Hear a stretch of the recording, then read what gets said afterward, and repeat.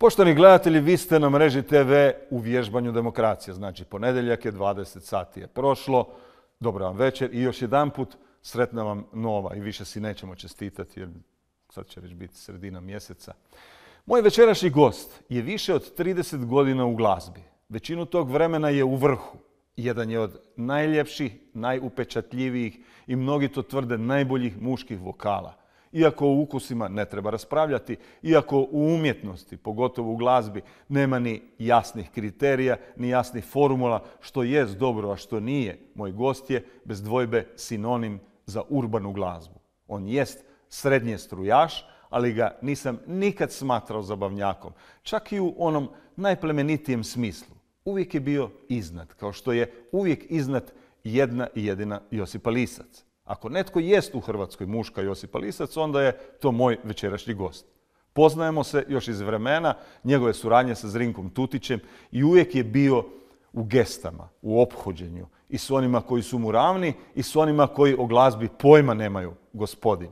Iako je njegov život obilježen usponima i padovima, krizama i zvijezdanim trenucima, kojih je bilo daleko više, kad bi ga upoznala, siguran sam da bi ga svaka majka poželjela za zeta. Čovjek sa stavom, ali dovoljno zaigran da ne bude zarobljen u malograđanskim okvirima. Kažu da je strok, ali dobar.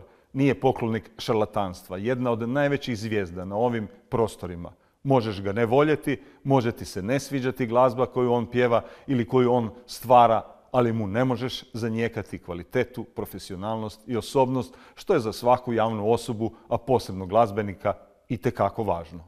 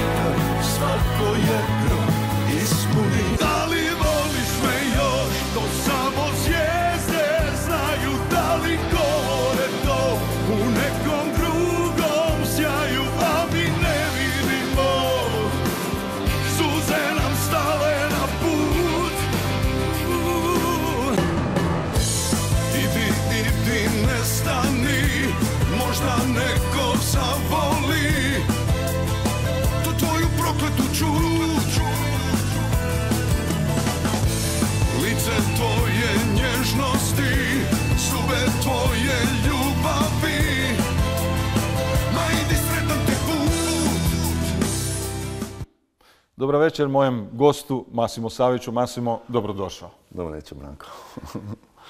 Jedan je veliki cinik i, i tekako bitan za tvoju karijeru, a ti ćeš odgonetnuti naravno i gledatelji kasnije zbog čega.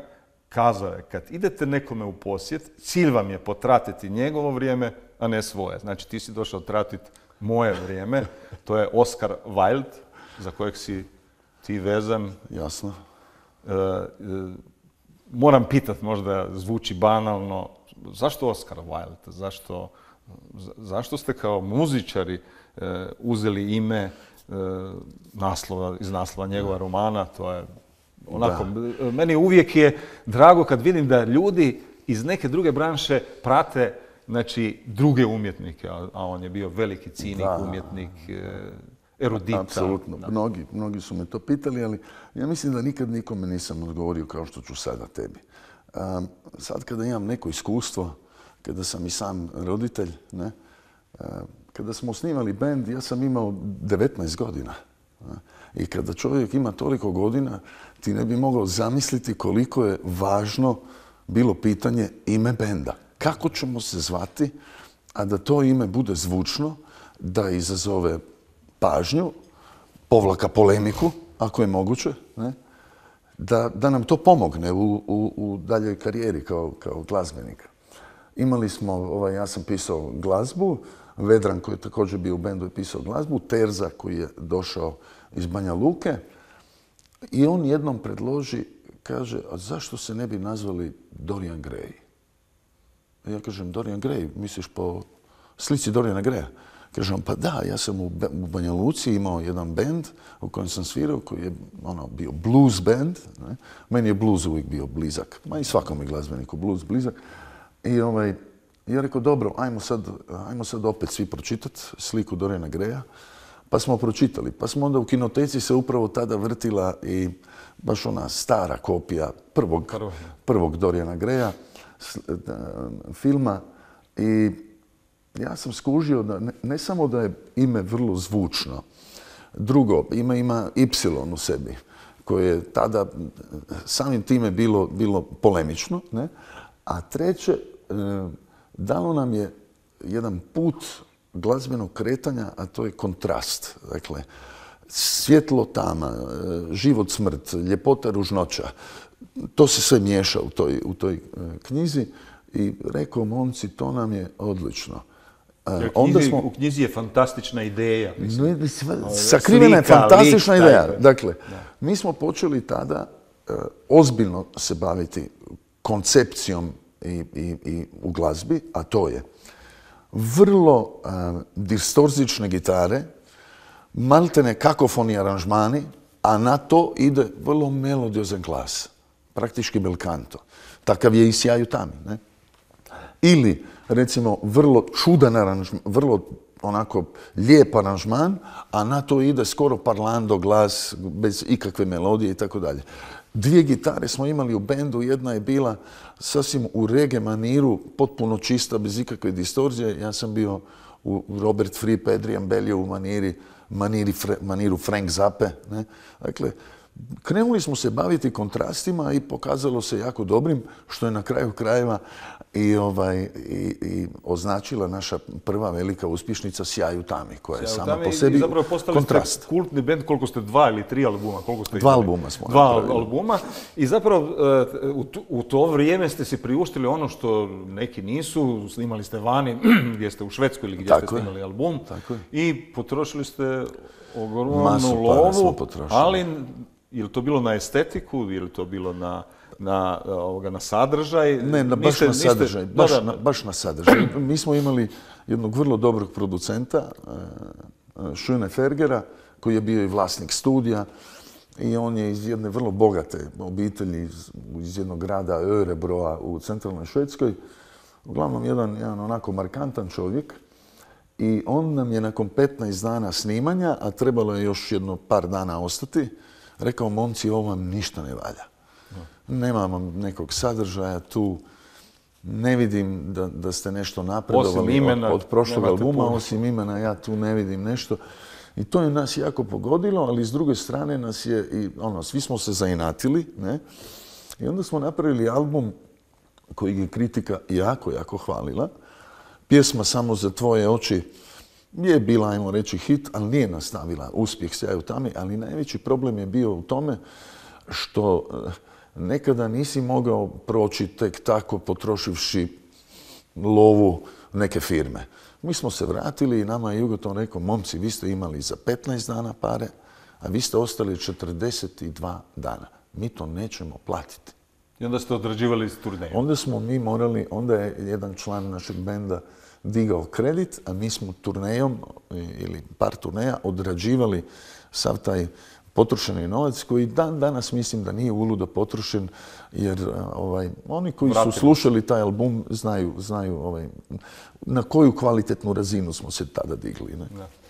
Ti zapravo e, e, imaš vrlo zanimljivu e, biografiju. Rođen si u Istri, potom si otišao u Italiju, pa si bio u Australiji, završio si u Zagrebu, putuješ često. E, Jel te e, određuje to putovanje? E, e, Jel to nemir u tebi?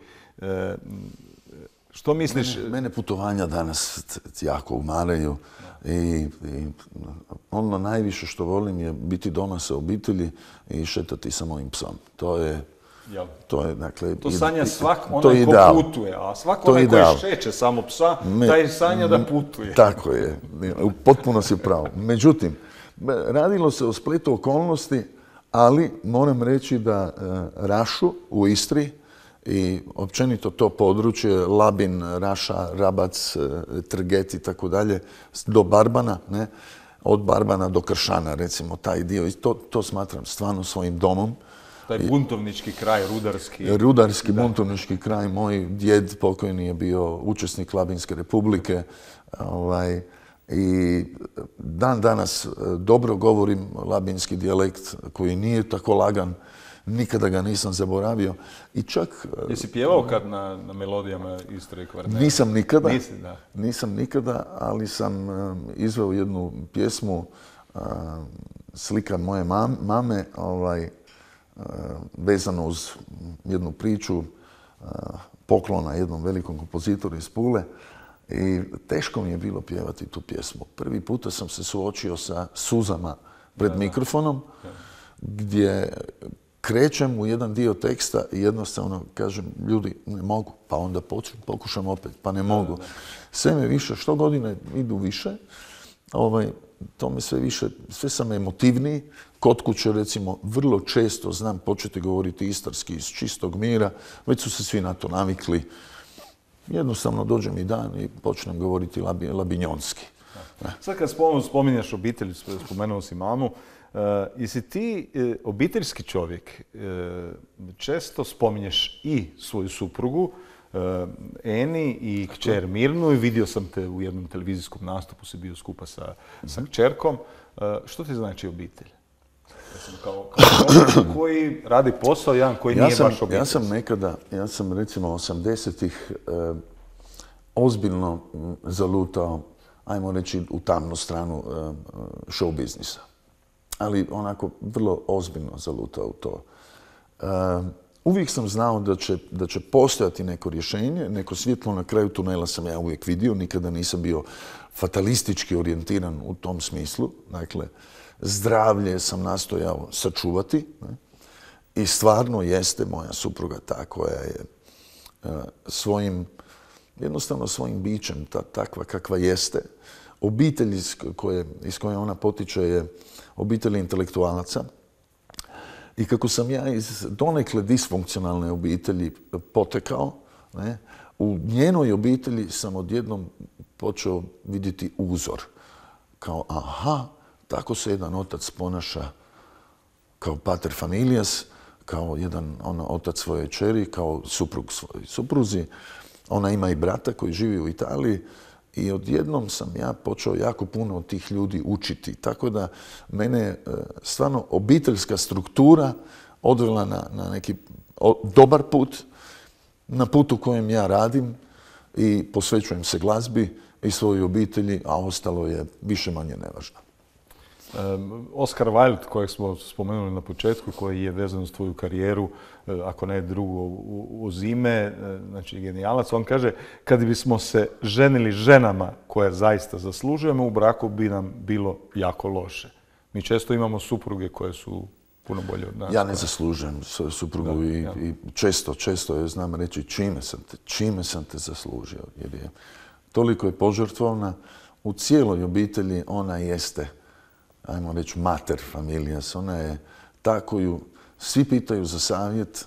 E, bilo koja velika odluka se ne donosi bez nje. Moja čer i ja smo strahovito ovaj, orijentirani na nju. I kad god nešto radim... dijete u duši, jesi još uvijek dijete. Moraš biti, moraš, Kao Branko, umjetnik, da. Branko, Da, da. b- moraš biti dijete ako si na, na bini, ako se veseliš glazbi, ti moraš biti jedno zaigrano dijete. Jer ako nemaš to e, u sebi, vrlo brzo se počneš pitati šta, šta ja tu radim. Da, Jesam ja tu Ima neki klaun? Da. Jesam ja tu neki, što sam ja? Jesam ja taj koji tu, tu sad vas treba nešto zabaviti? Vrlo lako uđeš u, taj, u to crno razmišljanje o tome. Isto kao što recimo e, stand-up komičari od koji, koji nas jako, jako nasnimavaju, nasmijavaju, kažu ljudi da su to vrlo depresivni ljudi u stvari. Jer I upravo- ozbiljni ljudi. I ozbiljni Vrlo, ljudi. Jer smijeh je jako ozbiljna e, Po meni je smijeh vrhunac, vrhunac a, dosega u umjetnosti. Dakle, ako te netko glazbom uspije nasmijati, to je, to je jako, jako visoki I u doseg. komediji, i kad se radi drama komedija, nedavno Teško je gostovao pisat Tarik, komediju. Tarik Filipović, on kaže, lako je, lako je, ja sam bio kazališni kritičar i gledao sam masu predstava na raznim kontinentima i stvarno e, je uvijek bilo teže e, nasmijati ljude i teže su prolazili. Uvijek prolaze ljudi... Po meni je lako odglumiti kriminalca. Da, da. Kriminalca, sodnika, lošu osobu. To je vrlo lako odglumiti. Ali komedija, to je već... Ili, recimo, situacija u kojoj me Đuro stavio. Ne? Da, da, kad, Branko kad si Đurić, u, kada našoj u našoj klinici, Da, ja ga pitam, a što hoćeš da ti glumim? Kaže on, ti ćeš biti anđeo. Rekao, boga ti, pa kud si našao najtežu moguću ulogu? Da, da. Dakle, jer anđeo je po Mark Twenu, dakle, jedno potpuno neutralno biće koje čini i zlo i dobro, ne? Kada, kada u, u knjizi Tajanstveni stranac ovaj, anđeo napravi od zemlje male ljude, cijelo jedno selo, i jako je zabavio svog prijatelja i onda kaže, dobro, to sad nije interesantno, samo sve to zgazi, kaže, idemo dalje i onda se ovaj čovjek začudi kako to anđeo. Dakle, vrlo je teško biti neutralan, teško je nasmijati, a lako je biti zao. To kad si sad spomenuo eh, kako je napravio od, od, zemlje male ljude, eh, eh, Valjd, koji će, koji će nam biti neka poveznica u ovoj emisiji, je rekao ovako, ponekad mi se čini da je Bog, stvarajući muškarca, malo precijenio svoje mogućnosti. Mi smo, nismo ispali idealni. Evo ovo što ti pričaš, ja isto imam daleko bolje mišljenje o ženama nego što imam o muškarcima, znači ne ja samo o sebi, također. nego svoje. Ja, ja On- također. Dakle, okružen sam najviše, um, um, najbliži suradnici su mi žene. I, I to se tako dešava, dakle, već neko vrijeme, jer ih smatram, ako naletiš na dobru ženu, na poštenu osobu, na radišnu osobu, onda ćeš stvarno imati ozbiljnog suradnika i odanog suradnika. Neko ko, će, ko te sigurno neće napustiti u najgorem trenutku ovaj, poslovanja, neko ko će te unaprijed obavijestiti ako želi ovaj, se baviti nečim drugim i tako dalje. Recimo, bivša moja asistentica je sada naša velika obiteljska prijateljica. Jednostavno, već odavno, ali to smatram i samim svojim napretkom, e, već odavno završavam suradnje, ali bez svađa. Nekad, sam, nekad sam završavao suradnje isključivo u svađama i onda se više ne čujemo Presek cijeli život. Rez, gotovo. Već neko vrijeme mogu završiti suradnju s nekim, ali i dalje smo si dobri. Da. Pa žene i primjeri u politici su e, daleko rijeđi da su žene u politici prebjezi, oni su daleko vjerniji prijatelji, e, pouzdani su prijatelji, čvršće su, trpnije su od nas, e, e, mogu pu- puno I toga zato ih ima manje. Da, da. A, ali, a šta bi se dogodilo da u publici su ti samo muškarci? E, To nisu te vibracije, jel?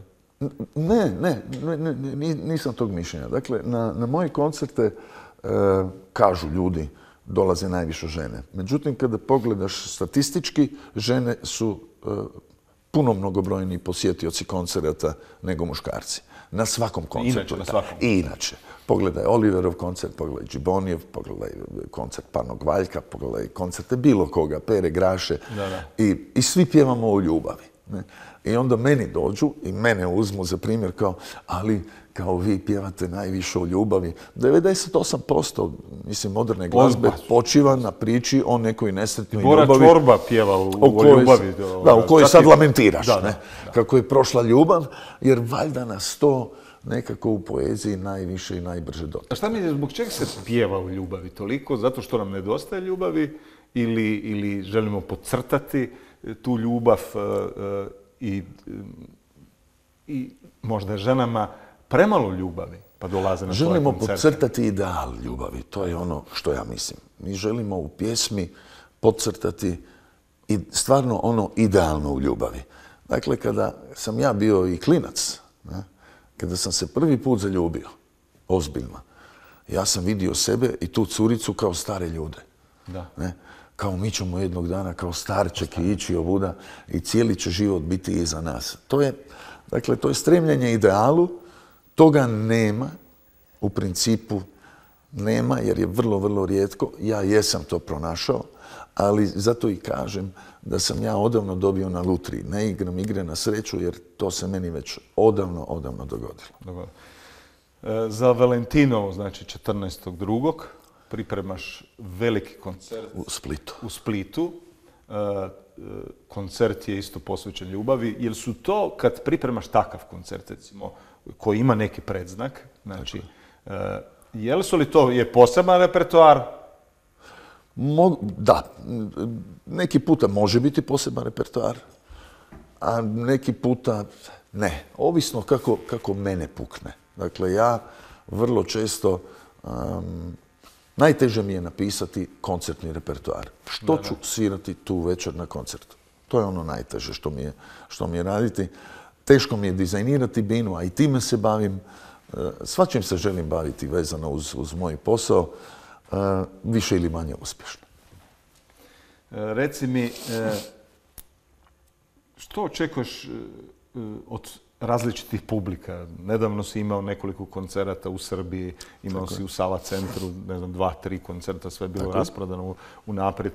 E, Da li postoje one specifične publike? Kaže, sad idem u Beograd, e, moram se ponašati ovako. U Zagrebu e, se moram ponašati nešto drugčije, u Splitu se moram drugčije. Ili zapravo su vibracije iste, očekivanja žena u Srbiji i onih u Hrvatskoj su slične. Pitanje ti je, ti je odlično i da, nekad sam bio ovaj, puno servilniji i e, želeći se dodvoriti određenom teritoriju na kojem poslovno egzistiram. Danas više ne, već, već dugo ne. Ja sam takav kakav jesam, neko će me prihvatiti ovakvog ili onakvog. Kada dođem u Beograd, valjda tamo najviše kajkam.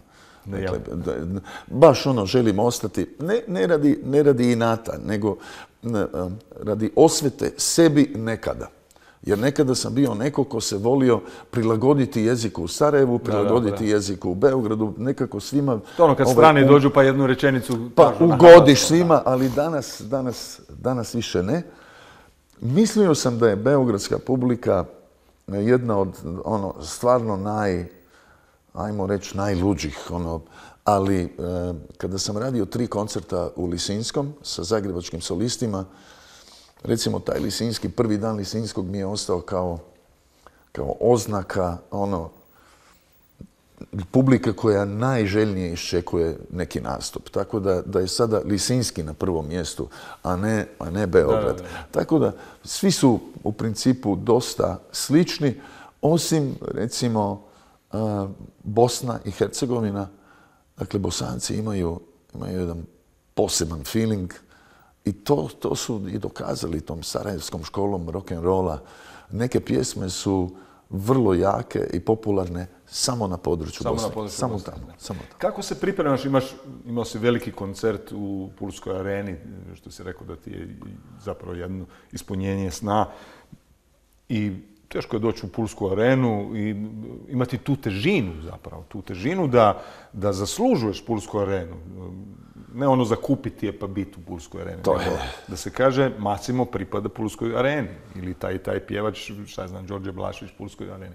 Jer su to posebne vrste pripreme, su to ono, jel taj dan ili tih dana prije, jel si nervozan, e, e, jel imaš posebnu, e, posebne rituale, jel nosiš neku odjeću bez koje nećeš ići nastupati jer kažeš to me štiti, znači neku svoju amajliju. Vrlo sam sujevjeran. Ja. Da. I Recimo ko Ivanišević u tenisu, on je u istim pred čarapama koncerte igra. tako. sam vrlo, vrlo ovaj, napet.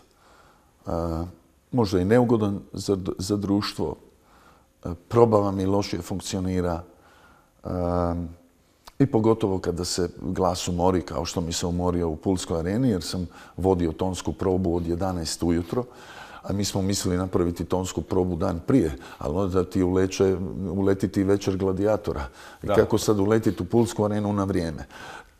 To ljeto u Puli je e, koncert imala e, Josipa, Severina, e, Joe Cocker, da, da ne nabrajam, jako, jako puno ljudi, Leonard Cohen, mislim, jako, jako puno, ne znam koliko sve nije bio.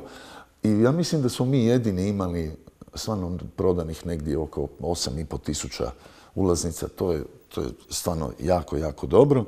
Um, rekli su da je Balašević imao nešto više, ali to je to, to su, to su rekordi. I toliko sam se bio izmučio na tonskoj probi da negdje u četiri poslijepodne sam svojoj ženi samo rekao glas mi, gotovo, nešto se događa s glasom, nije dobro. Jer onda te hvati, Onda, idu, panika onda ili- dolaze liječnici, onda dolaze liječnici, onda dobiješ kortikosteroid Da.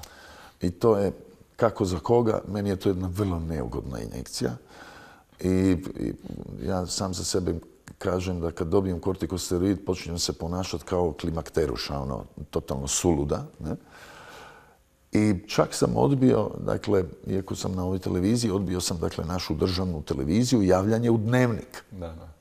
Mislim, bilo mi je loše, bio sam pred nesvjesticom, Dakle, dnevnik je bio zna se kada, zna se kad koncert počinje, pola sata valjda nakon toga.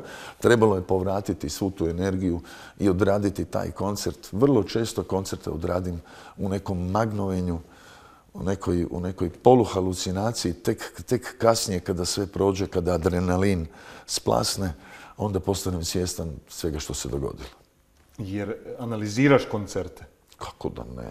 Pa to je... Kasnije, e, e, jel voliš sebe vidjeti na ekranu? Ne.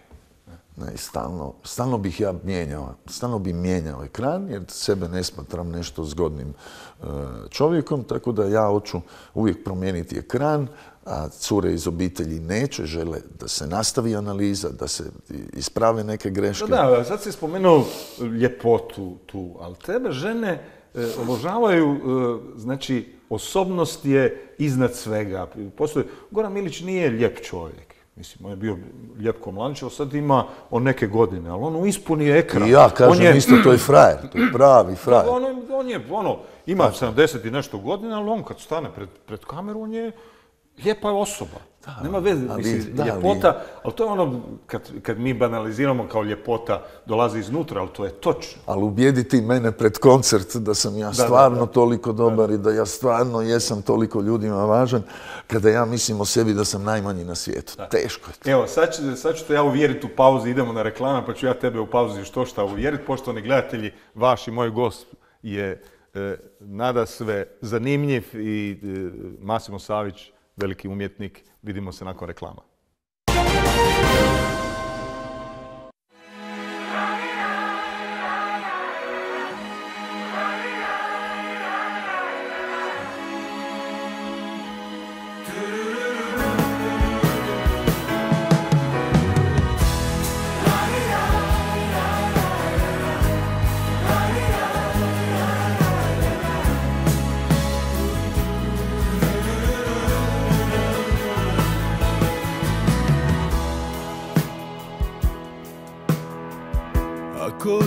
Ikad ranite, to je život, tu te puštam Ali znaj da za tebe ja sam tu i bit ću tu.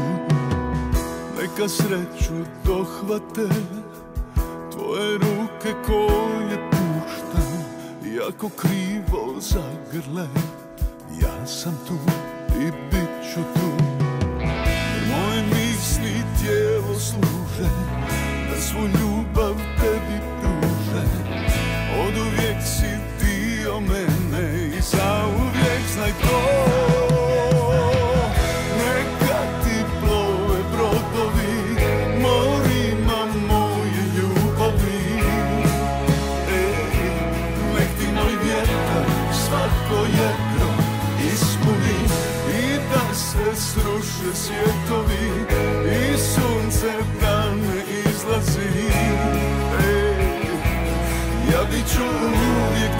za tebe Vjeruj mi.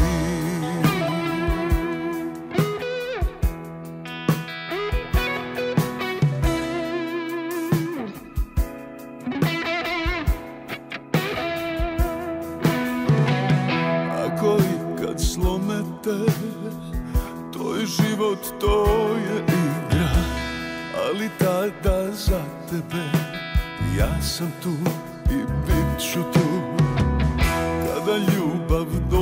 dohvate Ruke što im nije znano I kada krivo zagrle Ja sam tu i bit ću tu jer moje misli tijelo služe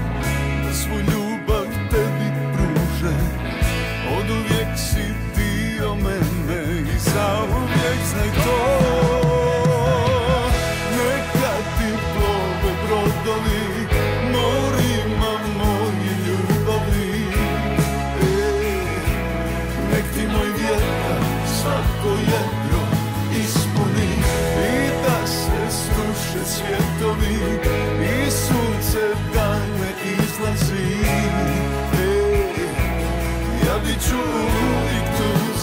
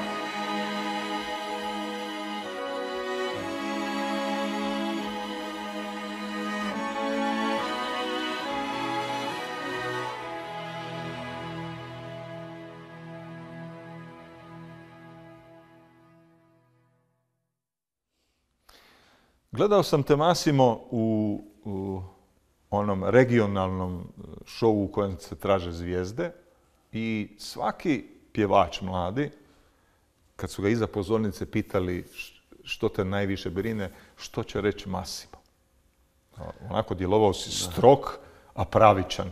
Jel ti glumiš strogoću ili, ili, ili si u profesionalnom, ovom svom profesionalnom dijelu želiš biti stvarno onako e, sređen na nogama, da ti vjeruju u svakom trenutku? Ili si ne, nekad... Ne, ne, ja sam samo e, u mom, u mom e, dakle, djelovanju, e, jesam perfekcionist. Dakle, ne vidim u tome ništa loše i mislim da bi svako trebao biti perfekcionist. Ne smatram svoje zanimanje ništa zanimljivijim od zanimanja vodoinstalatera. Ako ćeš taj posao vodoinstalatera raditi do perfekcije. Dakle, svaki posao se da raditi tako da, da on postaje umjetnost sam po sebi. Ne? Tako da sam i toj djeci, ne, kao prvo, e, mnogi nisu primjećivali uopće da zaboravljali bi neki mo- moji kolege da ta djeca imaju 15 godina. Da. Jedno od najčešćih mojih pitanja je, dijete, koliko, Koliko imaš, koliko ti imaš godina? I onda se sjetim sebe sa 15-16 godina. Ne? Dakle, oni su se mene, e, malo, malo su bili intimidirani od mene zbog početka snimanja emisije. Ali kako je emisija tekla, sve više sam im po- postajao jedan vrlo bliski striček koji će im dati relativno dobar savjet ne, što da rade. Jer e, jako je teško, pogotovo danas. Mi smo tržište od nekih 4 milijuna ljudi, Postoje okolna tržišta, ali one nisu tek tako spremna prihvatiti nove face. Dakle, neke od nas koji imamo već ime od prije, lako nam je raditi od Slovenije do Vardara. Ali danas mnogi su osuđeni na hrvatsko tržište, pa čak i uspješni bendovi imaju poslove sa strane jer se ne može od toga normalno, normalno živjeti. Ja sam samo htio upozoriti tu djecu na onu staru be careful what you wish for, pripazi što želiš. Da. Što te odredilo u životu najviše? Ko je na tebe najviše utjecao? Sad smo rekli u ovom profesionalnom, a onda i u privatnom, znači i, prije nego što se susreo ženu. Pa Što te postojao je- odredilo? Je, li- je li postojao- to... Postojao je jedan e, gospodin koji je osim ljudi iz moje obitelji, e, koji se zove Branimir, on, on, on živi u Labinu i imao jednu vrlo tešku tragediju u 90-ima. Mu je sin e, bio, umro u Zagrebu na jedan vrlo čudan način i tako dalje. E, Jedna ružna, agresivna smrt, e, stvarno za ne poželiti nikome, ali Branimir, još je bio mlad čovjek tada, je bio taj koji mi je objasnio da neću ništa specijalno postići ostanem uz bolesnu majku u Istri. Da ako se odlučim otići u Zagreb i baviti se glazbom i nastaviti školovanje u Zagrebu, a usput jasno on je znao da mi je glazba najvažnija. On je bio socijalni radnik. Dakle, e, ja sam učestvovao sa klincima u jednom ovaj, zlodjelu. Ne? E, ajmo, ajmo tako reći, u Rapcu. E, ja sam čuvao stražu dok su neki rasturali po samoposluzi, uzimali piće, cigarete i tako dalje. Klinci, 15-16 godina. Ne? I, ovaj, I došla je ovaj, ruka zakona do nas i bilo je jedno vrlo ozbiljno suđenje gdje su mnogi završili ovaj, u, u domu ili u zatvoru. I kad sam došao ja na red, čuo sam uh, iza sebe uh, socijalna služba Labin uh, se, će, se želi pobrinuti za ovoga momka. Dakle, ne moraju svi baš nastradati. Mi u njemu vidimo neki potencijal. Ja krenem dolaziti kod čovjeka dva puta tjedno na konsultacije i taj čovjek meni postane vrlo bliski prijatelj. Ja sam bio tada jedno vrlo needuciran klinac, needucirano dijete. Ne? Pa je, Prvi film koji mi je preporučio je bio Papillon. Ne? Da, da. Dakle, o snazi čovjeka, čovjeka o, o, ustrajnosti, da, da. da, izdura i naj, Jedan meni od najdražih filmova. Je, stvarno je, i knjiga je, ono, strašno. Sad su polemike da taj čovjek nije to proživio, nego je pričao priču nekoga koji... Ali nije uopće važno. Važna je poruka filma. Poruka, Sama poruka je nevjerojatna. I koliko su ti, ti, ti, ti zatvori bili vrlo vrlo grozni u toj francuskoj Gajani. Ne? I onda je on meni rekao, slušaj, glazba je nešto što je plemenito, što je dobro. Svi su uvidjeli da kad sam počeo svirati gitaru, da je se moje ponašanje počelo mijenjati. Jednostavno od jednog ono, grubijana, naviknutog na cestu, na, na tučnjave u diskotekama. Ja te ne mogu zamisliti kao grubijan. Ali jesam. jesam bio, sam, bio sam dio jedne vrlo grube ekipe koje je najveća fora bila potući se u diskoteci. To je, to je bilo tako. Mislim, razbit nekom pivo u glavu. Da, da budem iskren. Ono. Pa sam i ja dobio skoro ovaj, nastradao. Tako da, on je bio neko ko me razmekšao, koji je u meni našao jednu... Zapravo spas apsolutni spas. On mi je rekao ovako, odi u Zagreb. Period mog studiranja u Zagrebu je najljepši period mog života.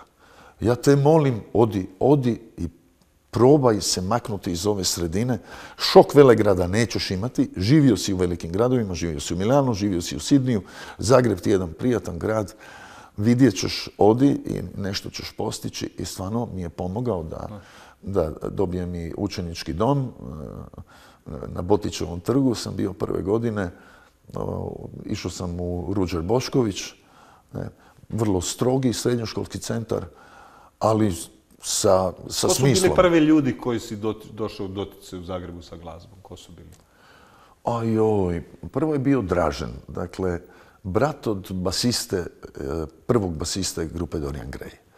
Naša grupa je promijenila basistu e, na samom snimanju, Emil je snimio cijeli album, Emil Krnić, i onda se posvađao sa svima nama, jer smo mi svi htjeli biti servilni uh, Saši Habiću, našem producentu, a on se htio s njim svađati i polemizirati, a nije imao pojma o studiju i nama je to bilo malo čudno šta ti je, mislim, pričaš sa profesionalcom, mi još uvijek ne znamo ništa o tome.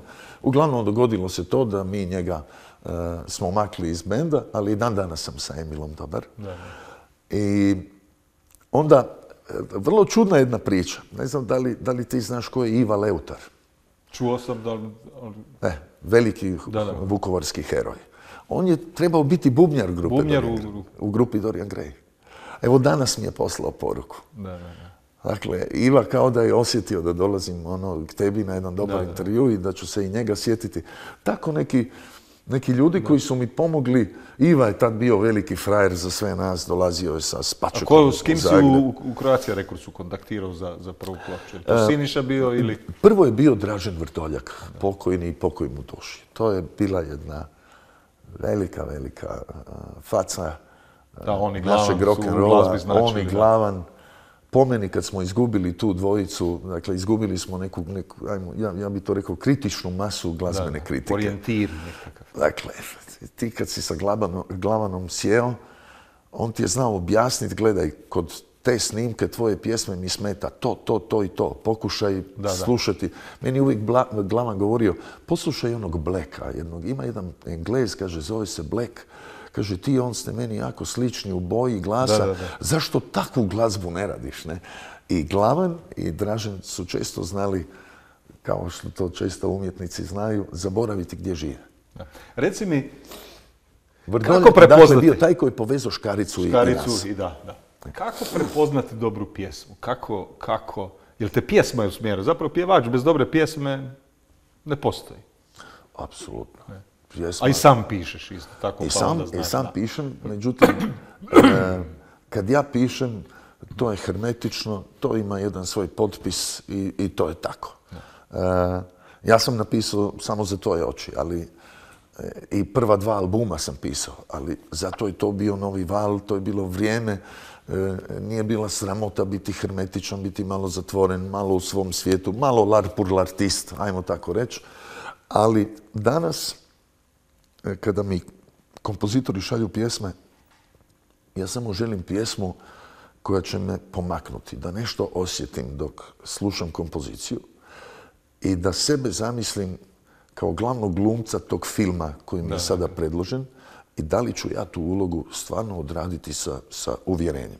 Mislim da je uvjerljivo donašanje pjesme je ono najvažnije. E, Ali Pokušavaš onda biti isti, hoćeš biti Masimo ili pomaknuti te granice i biti malo drugčiji. Recimo, e, jedna od prekretnica ti je bilo sasvim sigurno i suradnja sa Zrinkom Tutićem, recimo stranac u noći, benzina koja je bila ovako... Koliko sam ja naučio od Zrinka, to je neopisivo.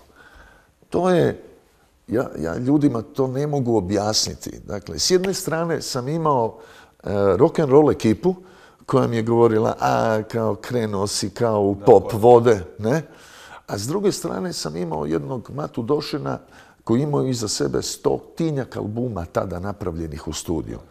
Koga što god da pitaš vezano u studio, taj ti čovjek daje savjete koji mi služe dan danas. Dan danas se služim izrazima Mate Došena u studiju kada mlađima govorim.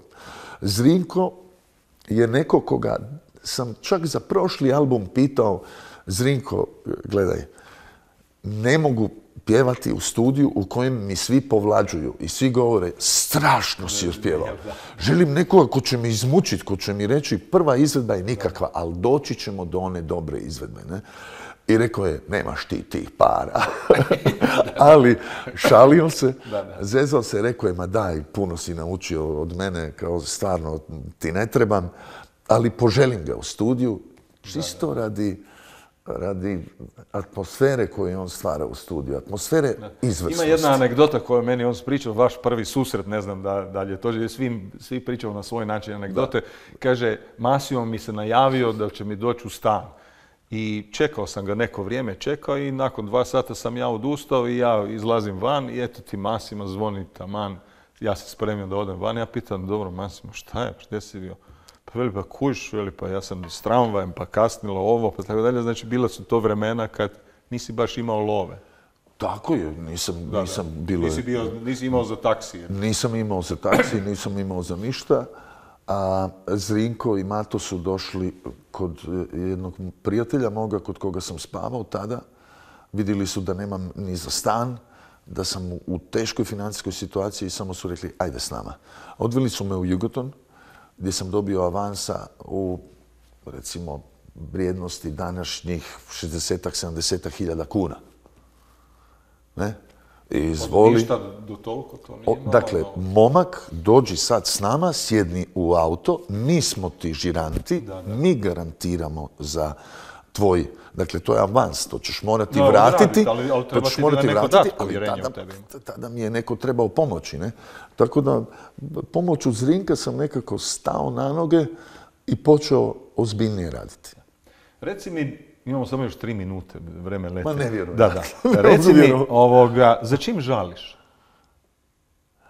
u životu? Da li uopće žališ? Da li se osvrćeš? Žalim. Podvlačiš crte? Žalim što nisam e, e, snimio kada mi je bilo ponuđeno ovaj, rad sa, bijelim dugmetom. To mi je, za time žalim. Bregović je također učinio jedan presedan u svom, u svom ovaj, Su regrutiranju. kada su ti nudili? Kad... To je bilo kada Kad je je, kada, kada je Alen Islamović izlazio. je- Dakle, bilo je, bio je Tifa, pa Alen Islamović, Islamović, i je. onda e, su prestajali on i Alen i on meni predlaže da uđem u dugme. Na svoj rođendan, na svoj do- rođendan dolazi u Zagreb. Piko Stančić me nazvao, on i Piko su tad bili jako dobri i Piko mi je rekao, čovjek ti dolazi na svoj rođendan. Max, želite brega u dugmetu. Ja rekao, ma jel moguće? S time da sam ja tada imao svježe hitove, dakle tek je krenuo stranac u noći, Noći, da, da. i stranac u noći, e, samo jedan dan, zamisli život Jura i ja. I ja sam rekao Goranu, Gorane, ja nisam neko sa ceste, ja već imam vrlo nešto izgrađeno, Zrinka ne mogu tek tako ostaviti, ne? objasni mi što hoćeš. Ili mi on nije dovoljno dobro objasnio što hoće, ili najvjerojatnije ja nisam dovoljno dobro shvatio e, na koji način se on misli dalje kretati, ali mi je strašno žao, ne da nisam bio u dugmetu, nego žao mi je glazbe koja nije nastala. A mogla je nastati jer njegova ideja je bila da više nema pjevača, klasičnog pjevača, nego pjevača i gitaristu. Goranu se jako dopalo kako ja sviram gitaru i on je htio onako, Da, da. baš su tada Stonesi izašli s jednim albumom gdje se Jagger na nijednom spotu nije odvajao od gitare i on je rekao tako bi mi trebali. Ali možda je, možda je to sudbina bila, možda je se trebalo tako dogoditi. Na- sve što mi se dogodilo se trebalo dogoditi, nema, ja tu ne dvojim. Vrlo kratko, jer te politika živcira. Nisi ja političan tip. Ja sam političan u toliko što strahovito volim ovu zemlju i nastojim biti pošten prema ovoj zemlji i plaćati sve poreze. Ja ne prijavljujem automobile u ratom opustošenim područjima. Ja plaćam porez onaj kako me dopadne, kako mi moje knjigovodstvo kaže, toliko moraš platiti, ja toliko platim, prijavljujem sve što radim i mislim da na taj način treba voljeti vlastitu zemlju, jer ako ne budemo svi, dakle, to jest, možemo svi varati, ali ako baš svi krenemo, neće biti za penzije, koje će nam jednog dana trebati, neće nam biti za staračke domove, za vrtiće, za škole, za zdravstvo. E, Država će krahirati kao takva. Ja mislim da ona Kennedyjeva, upitaj se što ti možeš za ovu zemlju napraviti. Ja se u potpunosti s njom ne slažem. Država nama treba pomagati, ali definicija Država bi domoljublja... trebala biti servis građana. To je Ali definicija domoljublja koju si rekao, to je građanin koji voli svoju zemlju, koji ispunjava dužnosti svoje, obveze svoje. tako ja vidim to. Da. E, Masimo, na kraju e, e, kaže tvoj Wild, e, neki su novinari zasigurno literarni talenti, kad tako loše vode intervjue, vjerojatno pišu poeziju. Ja ne znam da li, da li Ovo je bio, piše po- ovo je bio izvrstan intervju, izvrstan Branko, mnogo me puta ljudi pitaju potpuno ista pitanja i teško je odgovarati na ta pitanja, a s tobom je bilo vrlo lijepo razgovarati. E, mislim da si osoba e, koja je vrijedna pozornosti, osoba koja ima što reći ne samo u glazbi, nego e, gla- ono što izričeš na pozornici otkrivate i neku drugu stranu, neku dubinu tvoju. E, ja uglavnom razgovaram u posljednje vrijeme jer mi treba dobro samo s dobrim ljudima. Tebe sam ocijenio kao dobrog čovjeka koji ima široke svjetonazore. Ja ti se zahvaljujem. Hvala. E, Puno ti hvala. Evo, e, tvoja lepeza na kraju. Poštovani gledatelji, bio je ovo Masimo Savić, e, naš veliki glazbenik, pjevač kojem treba ski- skinuti kapu. Hvala vam što ste nas gledali. Vidimo se nekom Masimo nekom drugom prilikom. Biće. Da, da, da, da. E, hvala ti lijepa.